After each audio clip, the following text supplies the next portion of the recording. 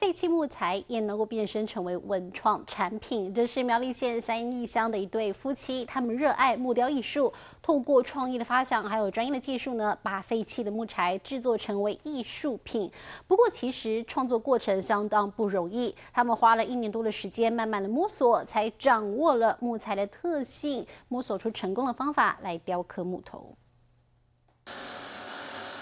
木头在机器的运转下不停的旋转，这时候下刀处就很重要。要把木头变成竹子哪这么容易？竹子有弧度，而且还一节一节的，因此雕刻就得展现功力。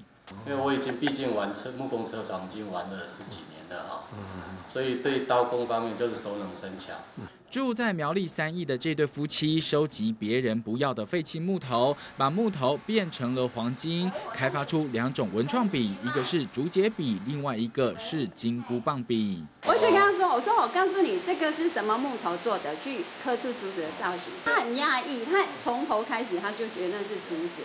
我说：“不是竹子哦，是吗？”这样我说：“对，我说是是木头刻的。”像我儿子三天就会做了啊，就。只要有人带，马上很快的。夫妻俩凭借着对雕刻的热爱，透过创意和技术，研发出多种文创品，还得到文创奖的肯定，印证了废木材也能变成黄金。民事新闻邱俊超苗栗报道。